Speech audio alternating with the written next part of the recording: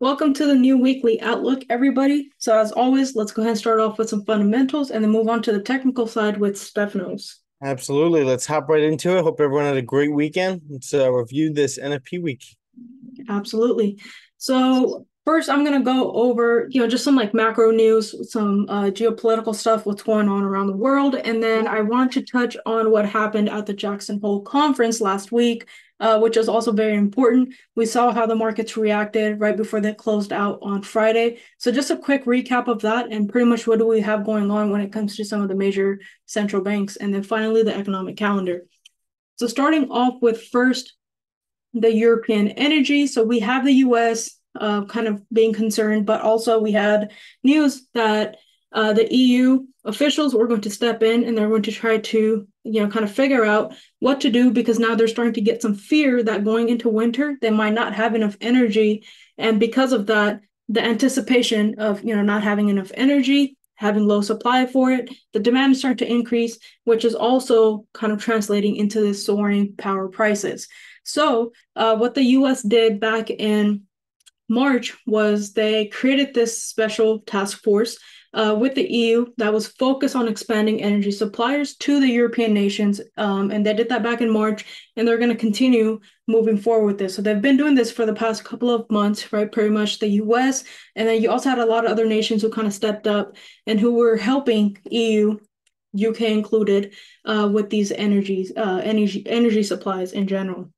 So what they're trying to do is they're going to continue to work with distributors and energy companies around the world. They're going to try to alleviate whatever shortages that might be in place. Again, remember that there's no way in the next couple of months, I'm talking about in like the next four months or so, uh, that just the US or just the UK will be able to come together with the EU and account or, you know, alleviate the 40% that Russia was able to provide to EU over the past couple of decades. There's no way that you can do that. But can they do it at uh, enough supply level where they can start to bring down these prices, uh, which are pretty much impacting the cost of energy, the cost of gas, and also uh, the cost of living overall in the entire United Nations. This is very important because this is pretty much coming back down to the necessities, right? Some of the things you need energy, you need gas in our day to day for a lot of the things that we do in order to survive, right? And now, as that translates into inflation, of course, increases in prices is going to translate into inflation, and then also uh, the style or uh, the living conditions of people in the European uh, nation in general. That's going to be very, very important going into the next couple of months to end out the year. And then we're going to go ahead and move on to Jackson Hole here. So pretty much what happened is that central bankers across the board agreed they're going to continue to increase interest rates. So every year, whenever there's a Jackson Hole conference, there's always a different topic. And also, uh, the people who come to the Jackson Hole, Jackson Hole conference, for the most part, are always switched out. So these are new academics, new economists, uh, new people who are representing financial organizations. And then, of course, you have the central bank officials who are there. They kind of tend to switch out, right? Um, of course, if you're the central bank head and you're kind of uh, fulfilling your term, you're always going to be there but I'm talking about the economists, the academics, and things like that. So every year there's a new topic. And this year, the topic was around inflation and also uh, what is going on with the pandemic, right? Everything that was impacted by the pandemic, which led into this inflation. So we're talking about the global supply chain issues, right? And then the pandemic itself and what does that uh, do to an economy in general. So they con- a lot of the economies are shut down they start to open up. There's a lot of uncertainty that's happening in general across different sectors of the economy right? Um, how did that translate into inflation? What can we do to combat that inflation? What have we already done to combat that inflation? And here the sentiment that all the central bank officials have put out is we're going to continue to increase interest rates and even if it does damage and they also agreed and openly said the fact that this inflation and this recession, which is being caused by you know the inflation but also increasing interest rates and the fear in the markets, it's here to stay for a, quite some time right? It's not what they're calling temporary anymore, um, but it's going to be around for a couple of you know years or so. I'm talking about like two years or so. It's going to take you that long to kind of recover from this. This was already said by Bank of England's governor. Governor Bailey already said that openly last time when they had interest rate hikes that the recession is going to be there and it's going to be there for a very long time. And they're going to try to combat that. And then when we look at other central bank officials, for example, Powell, he did not openly say that before this Jackson Hole conference, but the sentiment was already there. Looking at the economic data that was coming out and also the sentiment and the business sector, sector and then also the consumers. So that's pretty much what all the central banks are going to be doing you know, going into the end of the year and also early next year, which is just continue to increase interest rates and also shrink down their balance sheets, which they have expanding, would have been expanding since 2020 when the pandemic hit.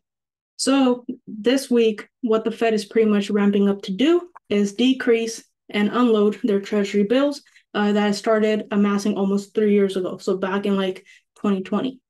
So as a part of its plan, it's going to reduce its $9 trillion portfolio and it's going to boost its monthly caps for the amount of treasuries and holdings of mortgage-backed securities that it's going to let mature to about 60 billion and 35 billion respectively.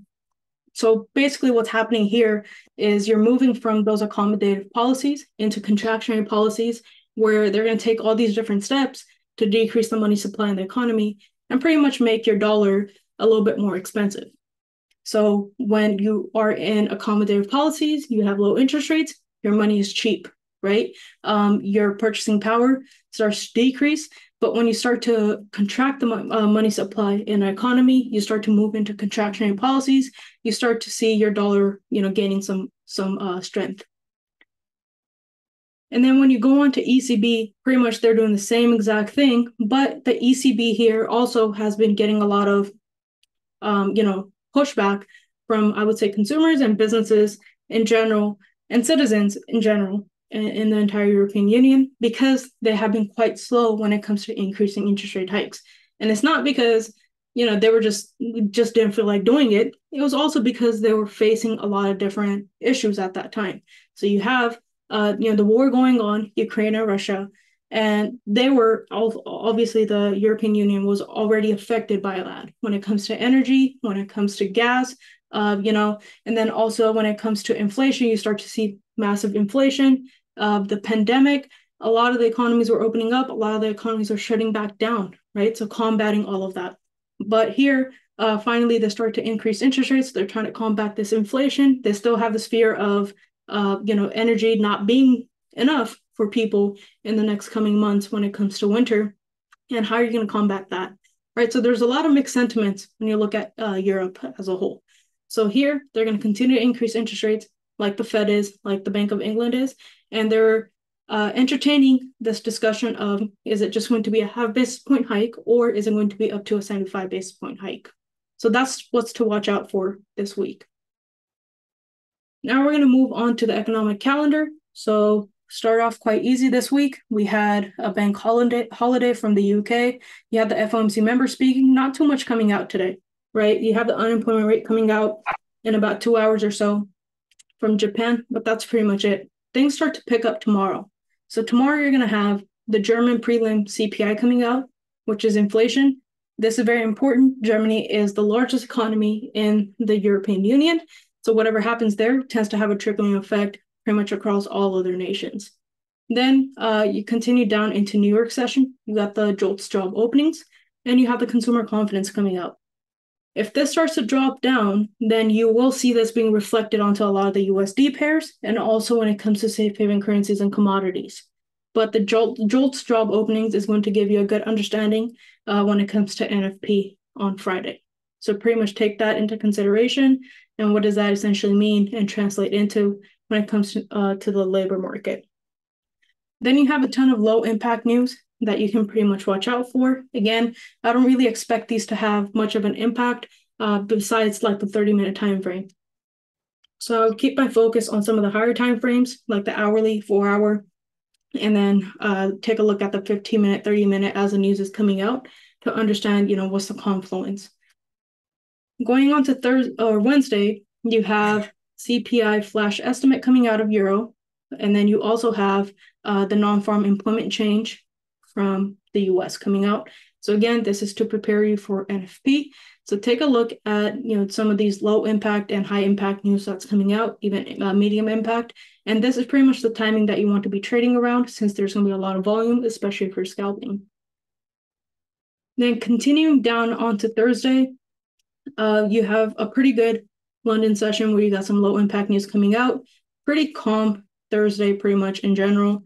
Uh, not too much coming out when it comes to high impact news besides the manufacturing PMI. Uh, but other than that, you're pretty much getting ready for NFP on Friday, which is again going to be very important. And that's going to give you a good understanding of the labor market. The reason why NFP is very important and understanding the labor market is also very important is because it's one of those dual mandates of a central bank, which is maintaining maximum employment. We're already starting to see those dips, right, when it comes to labor markets, because when you look at the micro level in the US specifically, you're seeing a lot of major companies going through layoffs and also just pausing their recruiting processes.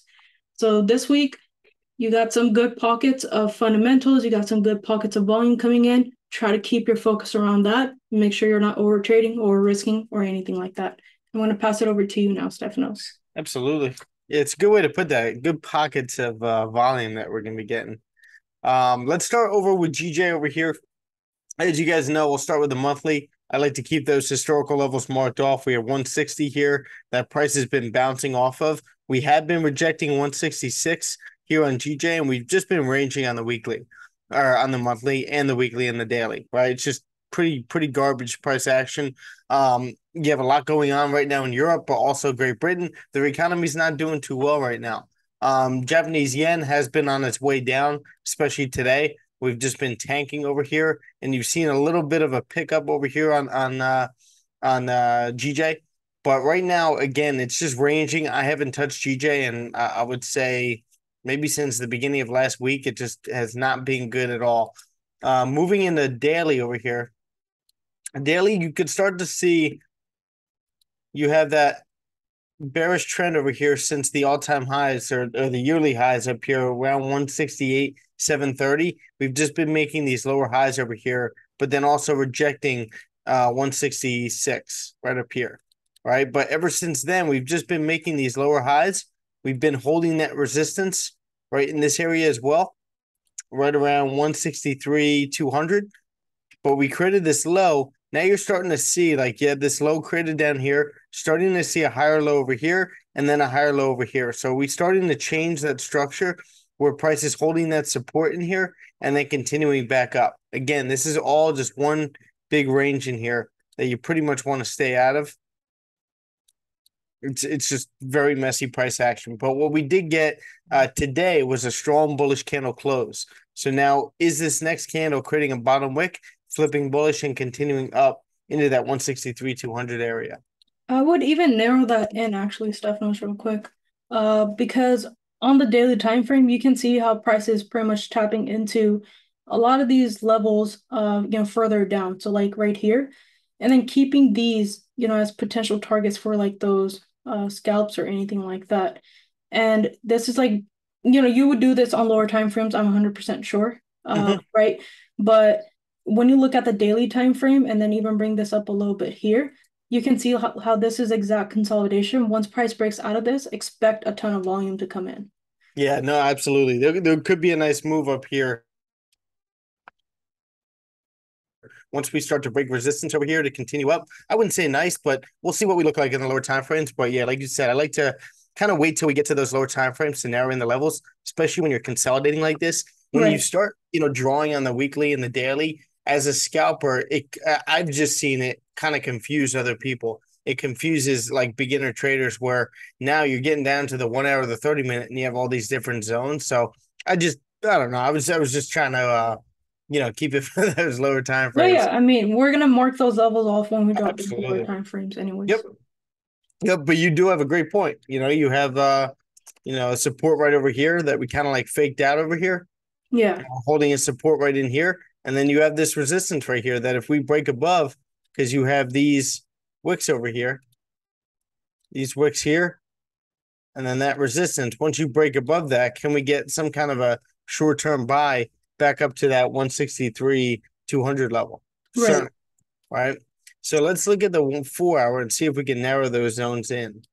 See, this is what I was kind of breaking down for the team yesterday or today. You have this whole zone that we keep rejecting over here.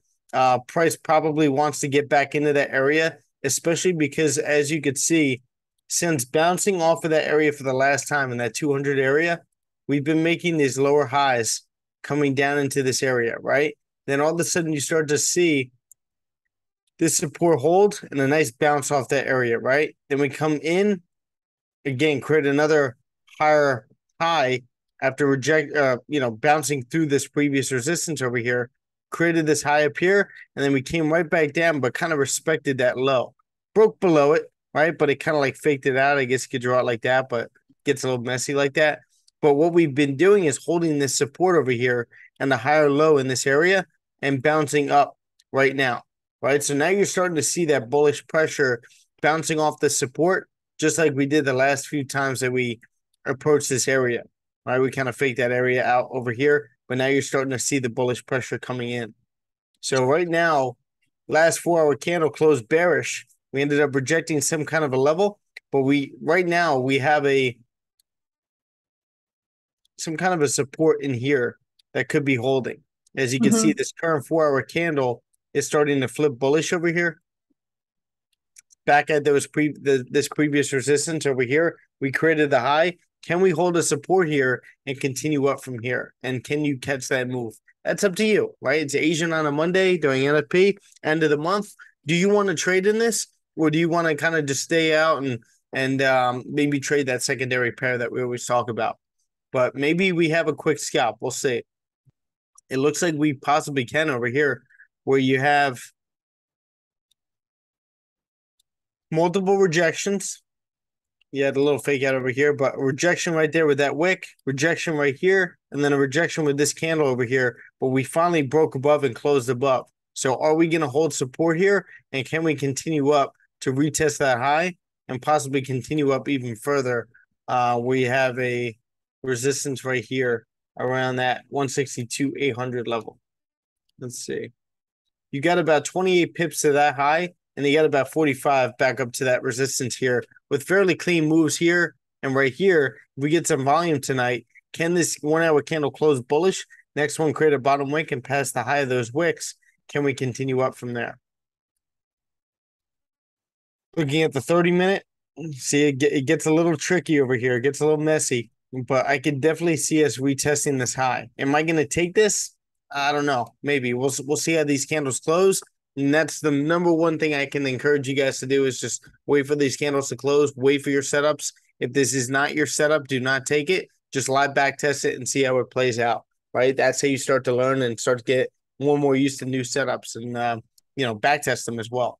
And we'll journal those trades too as you're live back testing it. You know, journal pretty much the setup. Yeah. So then you can trade the when it comes up uh, next time.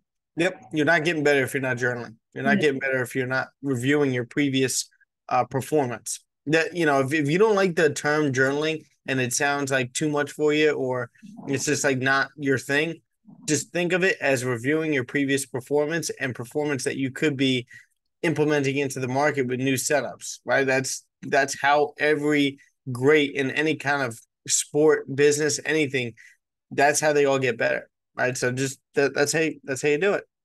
All right. So looking at gold over here again, since the uh, Russia Ukraine conflict kicked off, we retested those previous all time highs around 2075.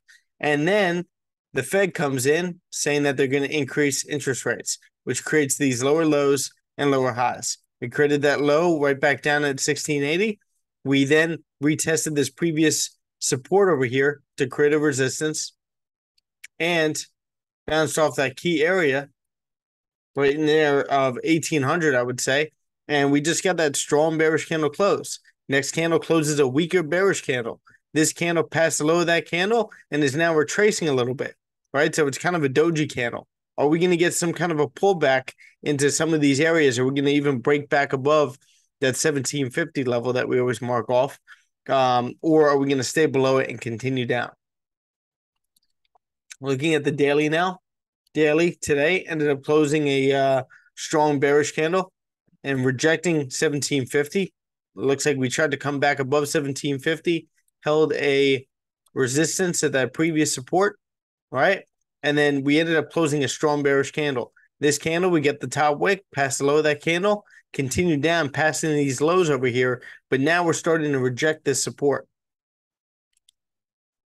right in here.